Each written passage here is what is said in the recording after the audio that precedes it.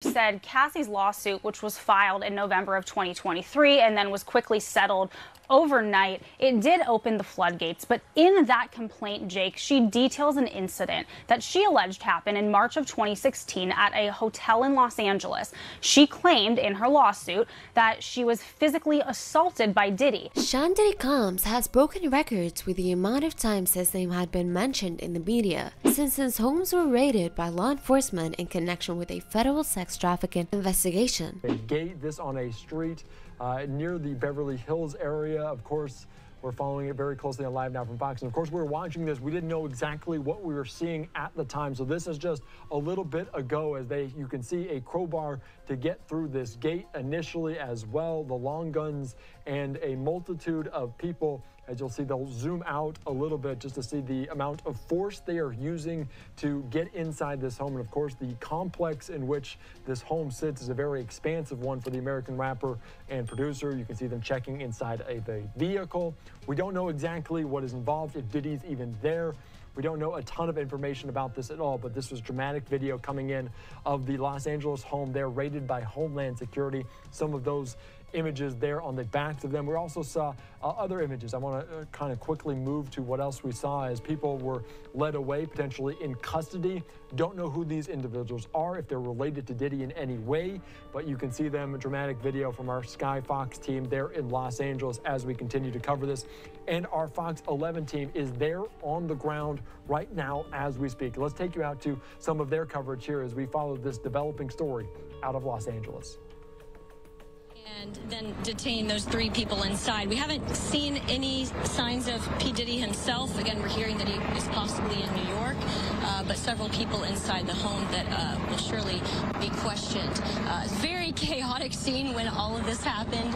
Uh, lots of, um, of neighbors wondering what's going on, of course, and uh, we'll keep you updated. But it's definitely going to be quite a scene here for the remainder of the day when you see this number of law enforcement agencies coming together, making this type of raid to such a big, high-profile mansion like this, in a neighborhood like this as well, this is very thought out, methodical, planned out for days. So they base this on a number of information gathering that they've received and evidence or what they're looking for. So clearly, this is not something they do lightly. They really go th through the process of making sure that everything is ready before they conduct a raid like this. So yes, this took a lot of planning for all these multiple agencies to come together to actually now conduct a type of raid like this, as you're seeing right now with this street also uh, shut down for the time being, because Haley, you could see the perimeter has been set up in that neighborhood to keep just the public back from the work that's being done. And there you have the shot from Sky Fox. Again, these heavily armed vehicles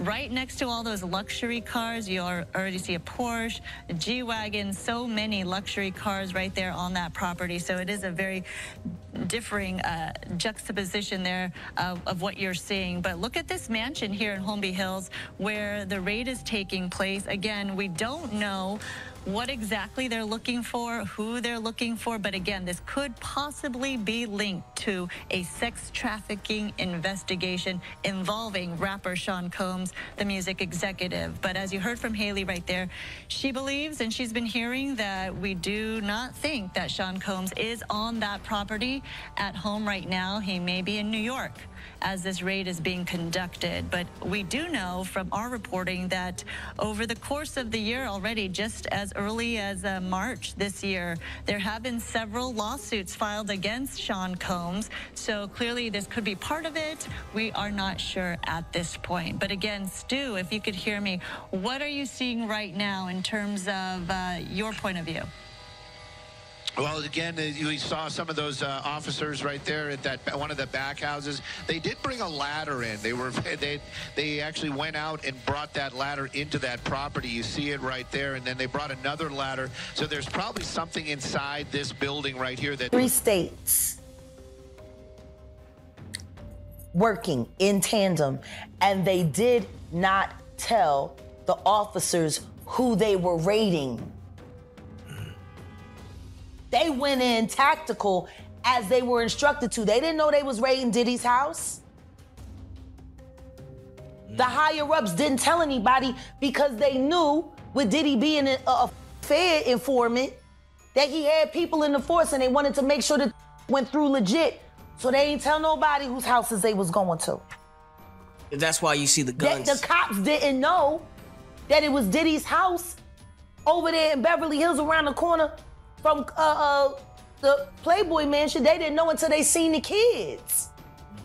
Ray J was reluctant to answer any questions about Diddy's infamous parties. Why do you think TD Jakes was at Puff Daddy's birthday party? If Bishop Jakes was at a Diddy party, there could only be two reasons money or sex. That's all that happens at Diddy parties. I hope it was for money because arguing about who's going to put the strap on on is. That can be a very uncomfortable situation. You know, we're going to pray on it. Praise the Lord. You know? Amen. pray. Uh, it seems like you can't say no to Diddy the way he's the way he's putting it out. Like, there's a lot of people like, why didn't he say no? Yeah, that, that- you don't go. Yes. You you don't go. Wh- Why go? They gonna drug you. Lace, yeah. You gonna ask for a glass of water? It's gonna be laced with that Tootsie. Let the let the good times roll.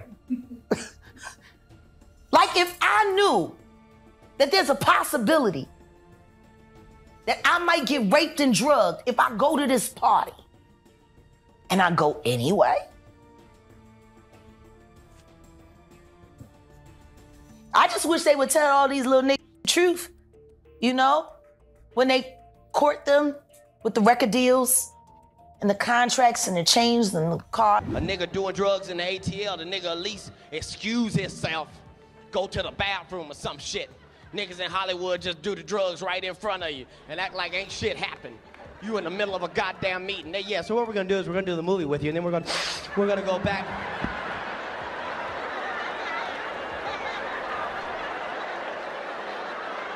Nigga, did you know that I can see you? Nigga, you right there. It's on your nose, nigga.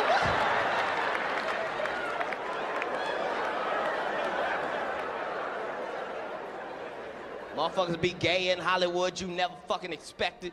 They be having these big ass mansion parties, and the mansion party, the whole mansion is a party, and then it's a separate party in the little rooms. I ain't been famous that goddamn long. I'm excited than a motherfucker to be at the mansion party. You be looking in all the goddamn rooms, and you fuck around and look in the wrong room and shit.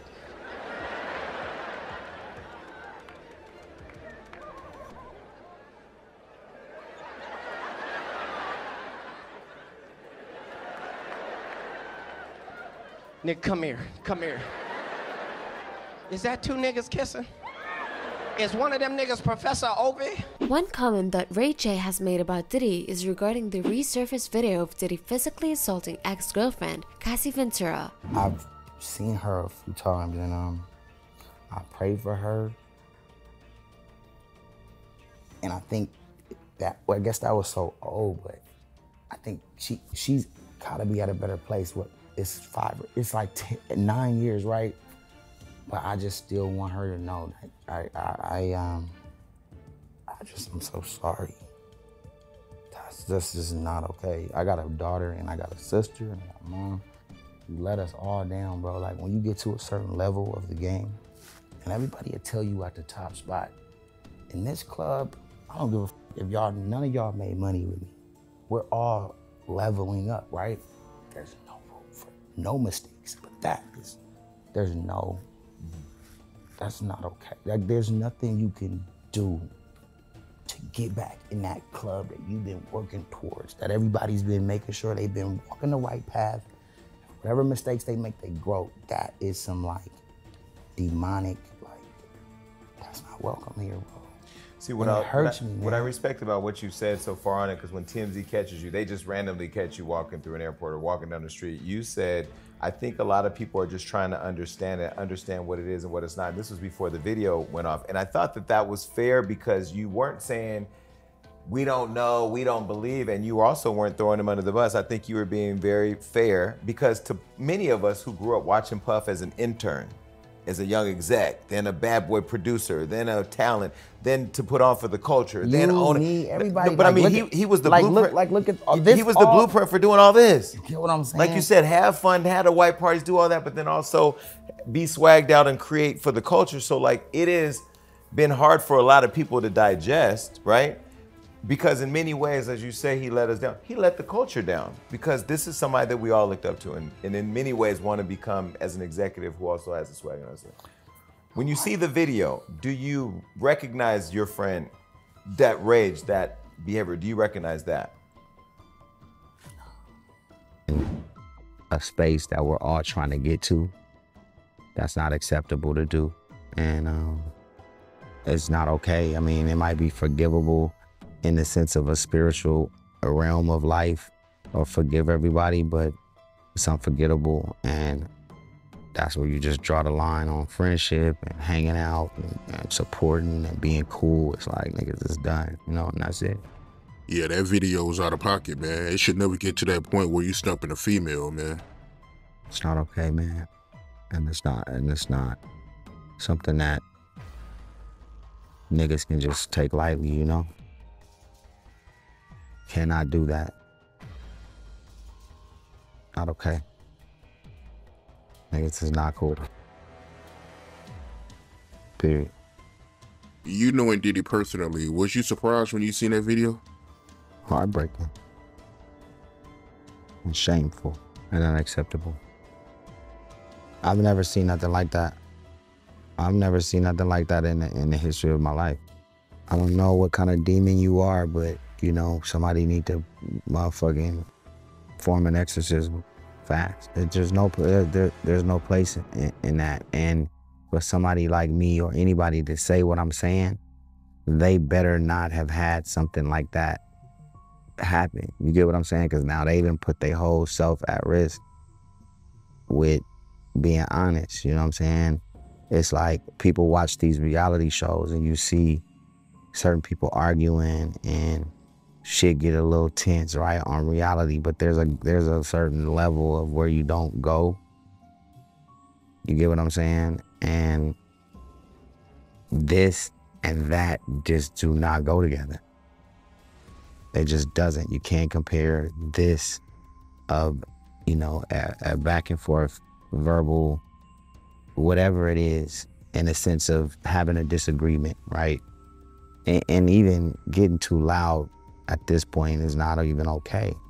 But that is way on another page. Combs has a history of violent and dangerous behavior toward women and his employees at Bad Entertainment. This person, however, his name is Rodney Jones. He lived, traveled, and he worked with Diddy as a producer.